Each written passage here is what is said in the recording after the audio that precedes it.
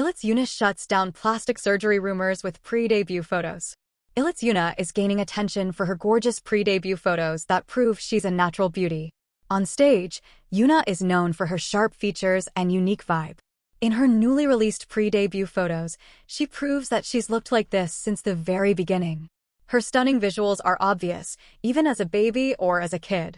In the pre-debut photos Yunah retains her signature cool girl vibe. She's been stunning since day one. Here are some of the comment from Korean netizens. I've seen her childhood photos and videos from R U Next, so I knew she was a natural beauty, but people keep accusing her of having plastic surgery, and I feel frustrated on her behalf. She doesn't fit the group image well, so people don't realize how beautiful she is. I don't understand why people keep forcing the girl crush concept on her.